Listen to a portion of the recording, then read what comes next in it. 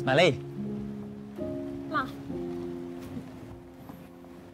មេងចង់ដឹងពីសវនាការដូចទៀតអត់ចង់ដឹងតានិយាយមកអត់តដល់ម៉ោងទៅរៀនដែរអឺមេងចង់ដឹងអត់ថាដូចបកាយតវ៉ាទៅនឹងចម្លើយរបស់ជនរងគ្រោះដែលខ្ញុំបានលើកឡើងលើកមុនអត់ចង់ដឹងតានៅចាំអ្នកដែលរស់រានមានជីវិតទាំង3នាក់នេះហេដូចអត់បានបកាយតវ៉ាទៅនឹងចម្លើយរបស់ពួកគាត់ដែលបានលើកឡើងនៅក្នុងតុលាការឯងអូ ហើយមកចឹងអឺដូចប្រហែលជាពិបាកនៅក្នុងការបដិសេធរឿងទាំងអស់នេះដោយសារតែដូចបានរៀបរាប់រួចហើយថាអ្នកទោសទាំងអស់នោះត្រូវបានធ្វើទរណកម្មបែបណាខ្លះនៅមន្ទីរស21គឺនៅពេលនោះអ្នកទោសត្រូវបានសម្លាប់ស្ទើរតែទាំងអស់មេងមើលវីដេអូនេះ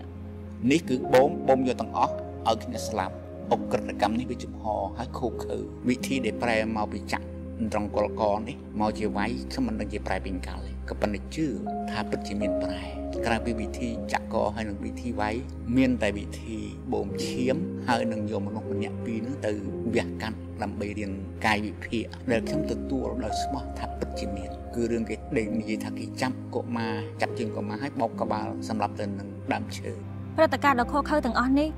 ពិតជាមិនងាយបំភ្លេចទេត្រូវអត់មិនអាចភ្លេចបានទេ ប៉ុន្តែតែយ៉ាងម៉េចដូចទទួលស្គាល់នឹងគ្រប់យ៉ាងដែលបានកាត់ឡើងនៅពេលដែលគាត់គ្រប់គ្រងមន្ទីរស21ប៉ុន្តែភ្លាមភ្លាមៗហ្នឹង